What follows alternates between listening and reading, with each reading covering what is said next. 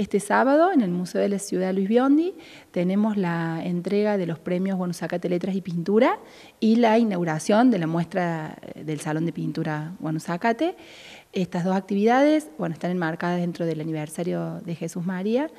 Eh, el jurado ya se ha expedido en ambos casos, en ambos certámenes, y bueno, este sábado vamos a hacer la, entrega de los premios y la habilitación de la muestra. ¿Qué categorías participan de este premio Guanusacate? Bien, eh, tanto en pintura como en letras ha, habido dos categorías. En el caso de pintura, la categoría A es pintura y la categoría B es objeto de diseño. ¿Con qué criterios se han seleccionado los mejores trabajos? Bueno, el jurado en el caso del Guanusacate Pintura, el criterio fue la potencialidad visual de las obras, fue un, criterio a tener en cuenta.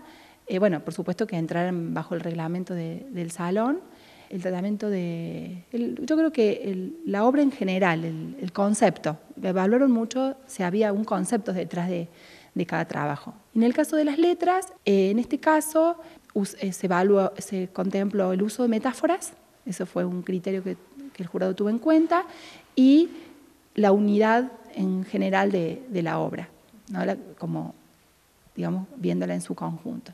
Esto mañana a la noche y el domingo a la tarde, Premios Pío León. Así es.